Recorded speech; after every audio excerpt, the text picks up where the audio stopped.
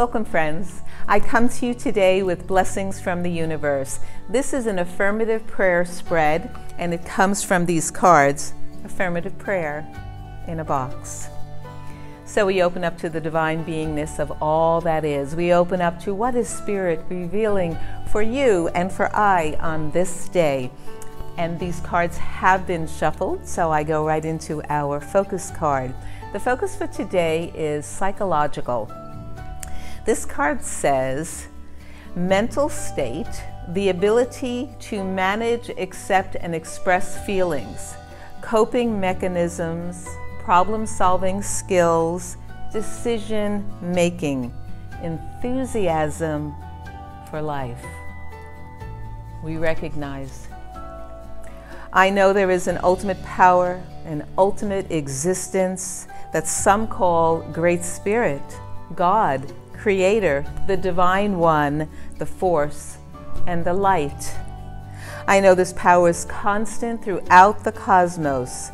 I realize that this love is the intelligence that permeates all forms and all beings.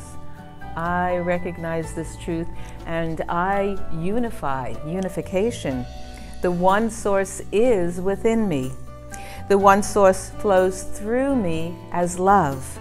The one source works for me with ever present guidance. I believe it is so, I know it is so, and I declare. I clearly express my desires and expectations with purpose. I know I am exactly where I am supposed to be right now. I recognize the spiritual truth of the experience I want and I claim it as existing for me right now because of who I am. So it is always with deep, deep gratitude that I give thanks for infinite love. I give thanks for this truth. I give thanks for the spirit that dwells within my being. I give thanks and I release with a grateful heart. I release these words to love, knowing that the law is acting on my word.